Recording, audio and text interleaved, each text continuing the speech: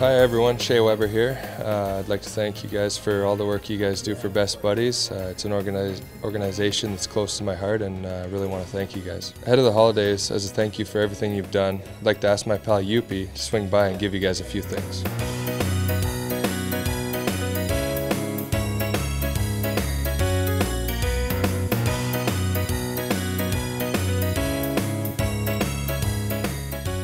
Best Buddies program is students at Westmount High School in the Sec 5 grade come together once a month to do activities with the Leaders on Wheels from the Mackay School here.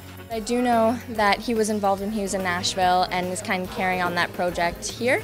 Uh, yes, we did get to go to his box, which was an amazing experience for everybody.